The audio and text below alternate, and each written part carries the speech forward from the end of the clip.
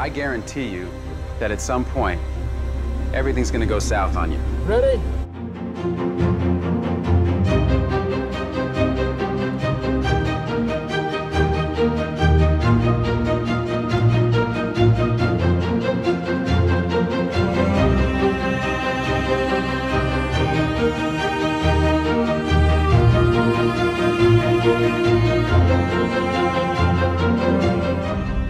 I'm still alive.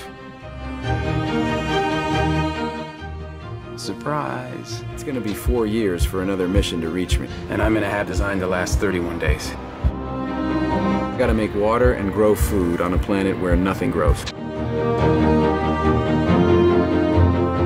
Let's do the math. I have enough food to last for 50 days. He's going to starve to death long before we can help.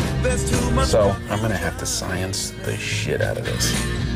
I am the greatest botanist on this planet.